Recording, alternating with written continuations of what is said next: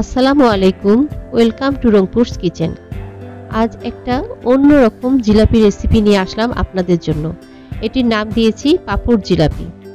যদিও এটা দেখতে জিলাপির মতো নয়, কিন্তু জিলাপির মতো খেতে এবং অনেক ক্রিস্পি এটা অনেক টেস্টি এটা দেখতেও অনেক সুন্দর এবং এটা খুব সহজে বানানো যায়। পাপড় জিলাপি তৈরি করতে প্রথমে শিরা তৈরি করে রাখব। কারণ শিরা মোটামুটি ঠান্ডা করে রাখতে হবে। গরম শিরায় আমরা জিলাপি দিব না, তাহলে এটি ক্রিস্পি থাকবে না। প্রথমে আমি এখানে শিরা বানানোর জন্য এক কাপ চিনির সাথে হাফ কাপের চেয়ে একটু বেশি পানি দিয়েছি। কারণ শিরা খুব ভারী করব না, চুলায় মিডিয়াম জেলে পানি ও চিনি দিয়ে অনবরত নাড়তে হবে। দুই তিন মিনিট পর একটু লেবু চিপে শিরাতে দিলাম, তাহলে শিরা জমাট বাঁধবে না। এক তার বা দুই তারের শিরা নয়, তিন চার মিনিট পর হালকা আঠালো হলেই চুলা থেকে নামাবো।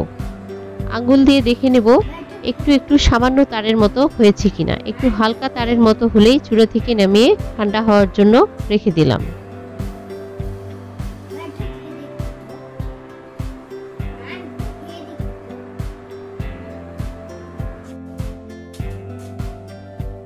একটি বাটিতে এক কাপ ময়দা নিলাম। সাদা এলাচ, হাফ চা চামচ দিলাম। এক চা চামচ কর্নফ্লাওয়ারও দিলাম। এক চা চামচ বেকিং পাউডার দিলাম। বেকিং পাউডার কিন্তু অবশ্যই দিতে হবে, এটা বাদ দেওয়া যাবে না। একটু কালো জিরা দিলাম, এটা আপনার ইচ্ছা অনুযায়ী দিবেন। আর হাফ কাপ পানি একবারে নয়, আস্তে আস্তে মিক্স করবেন। এবার একটা ডিপের কুসুম দিলাম। আমি সামান্য পানি দিয়ে ব্যাটার তৈরি করছি।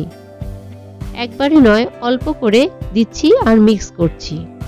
হাফ কাপ দুধ রেখেছি, যতটুকু লাগে ব্যাটার তৈরি করতে ততটুকু দিব। পানি হাফ কাপের চেয়ে একটু বেশি দিলাম। দুধ কিন্তু সামান্য দিয়েছি, হাফ কাপ দেইনি। আজ আমার হোয়াইট ভিনেগার ছিল না। হোয়াইট ভিনেগার এক চা চামচ দিলে জিলাপির স্বাদটা বেশি পাওয়া যেত। আজ ভিনেগার ছাড়াই বানালাম। আপনারা ভিনেগার এক চা চামচ অ্যাড করতে পারেন। শেষে এক চা চামচ তেল দিয়ে দিলাম। ব্যাটারটি আস্তে আস্তে অনেকক্ষণ মিক্স করতে থাকলাম। এখন একটি স্প্যাচুলা দিয়ে দেখাচ্ছি, ব্যাটারটি ঠিক এরকম হবে। খুব ভারীও নয়, আবার খুব পাতলাও নয়। এই রান্নার মূল উপকরণ হচ্ছে এরকম একটি স্প্যাচুলা বা খন্তা। একটি প্রশস্ত ফ্রাইং প্যানে তেল দিয়ে এই খন্তাটি কিছুক্ষণ ডুবিয়ে রাখতে হবে। খুব বেশি আবার গরম করা যাবে না।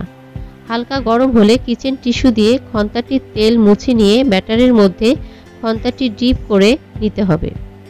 আমি ব্যাটারটি কিন্তু একটা প্লেটে ঢেলেছি। তেলের মধ্যে খন্তাটি কিছুক্ষণ ধৈর্য ধরে রাখতে হবে। চুলা কিন্তু কম আছে, রাখতে হবে। না হলে পুরো, না হলে পুড়ে যাবে জিলাপি। আমি কিছুক্ষণ ধরে রাখলাম। নিজে নিজে খুলে আসছে না খন্তা থেকে। একটা চাকু দিয়ে সামান্য নেড়ে দিতেই খুলে গেল। এরপর একটির পর আরেকটি খুব তাড়াতাড়ি ভাজা হয়ে গেল। আমি একটু লাল করে ভাজলাম, আপনারা এর চেয়ে কম করেও ভাজতে পারেন, তাহলে দেখতে আরও সুন্দর লাগবে। শেষের দিকে আর চাকু লাগছে না, এমনিতেই খুলে যাচ্ছে। এখন এই এটি শিরাই ভিজিয়ে নিলাম, অনেক ক্রিস্পি জিলাপি এটি।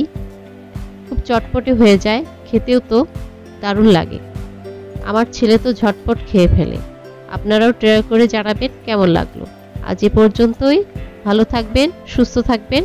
লাইক ও সাবস্ক্রাইব করে অবশ্যই পাশে থাকবেন। আল্লাহ হাফেজ।